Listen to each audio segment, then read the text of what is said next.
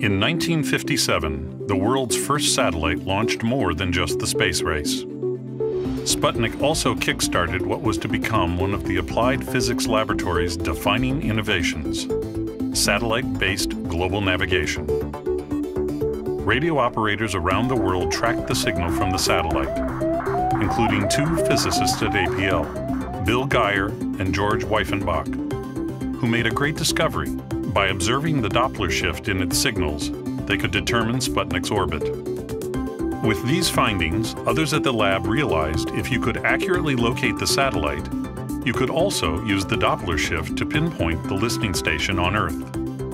And it was this idea that sparked a new initiative, the Navigation Satellite Program.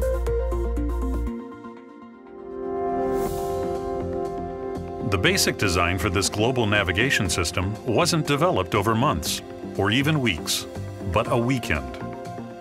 Getting something off the ground would take a bit more time. But the Navy saw the strategic advantage a system like this could provide, and with support from ARPA, APL began the task of designing and building the first experimental navigation satellite. And in 1959, less than two years after Sputnik, Transit 1A was launched.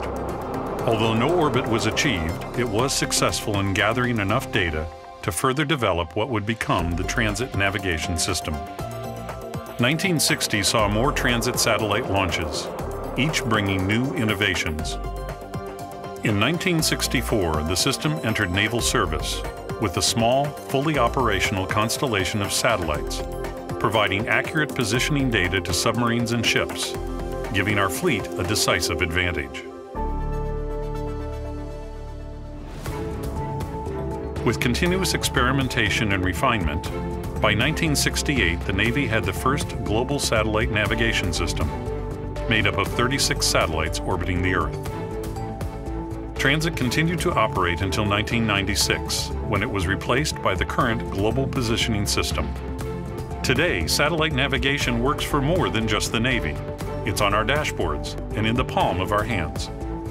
And it all started with a simple challenge that led to a revolutionary idea and became Transit, the system for satellite-based global navigation, another defining innovation from the Johns Hopkins Applied Physics Laboratory.